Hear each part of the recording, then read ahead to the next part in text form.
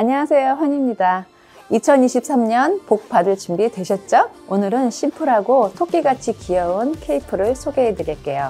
클래식한 트위드 소재와 몽글몽글한 양모 소재로 만들었습니다. 보세요.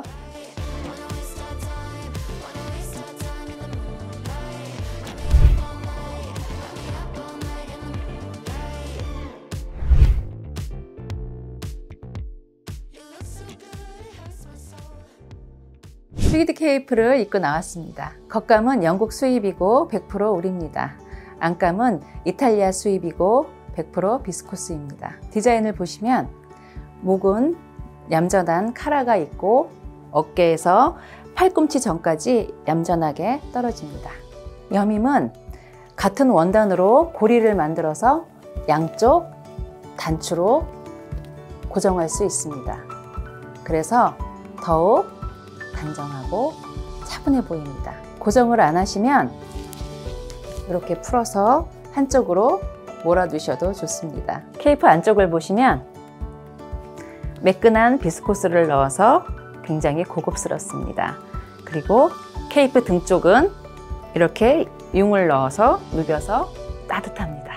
집이나 학교, 사무실, 마트 갈 때 간단한 외출용으로 좋고 코디나 활용도 면에서 우월합니다.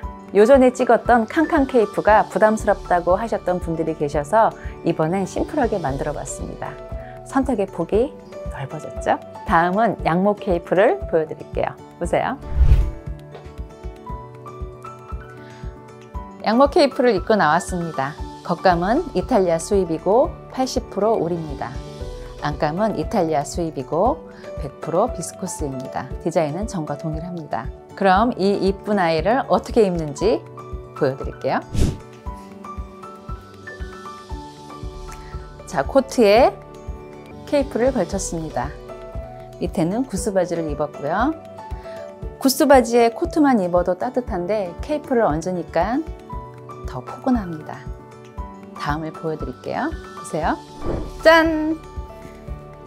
자켓에 케이프를 걸쳤습니다.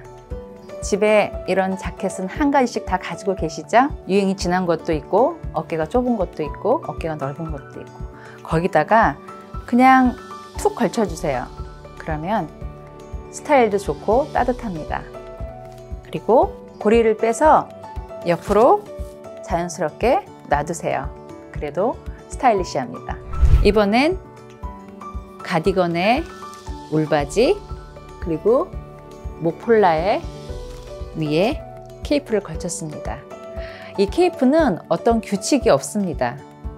그냥 가지고 계신 셔츠 위에 걸쳐도 되고 실내에서 업무 볼 때 그리고 뭐 집에서 소파에 앉아서 TV 볼 때 잠깐 마트에 갈 때 그냥 겉에 옷에다가 살짝 얹으시기만 하면 됩니다. 어떠세요? 괜찮죠? 오늘 영상 잘 보셨나요? 오늘 보여드린 케이프는 심플하지만 가볍고 따뜻합니다.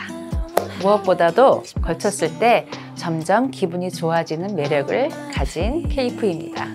마치 빨간 머리에는 만나는 기분입니다. 감사합니다. 새해 복 많이 받으세요.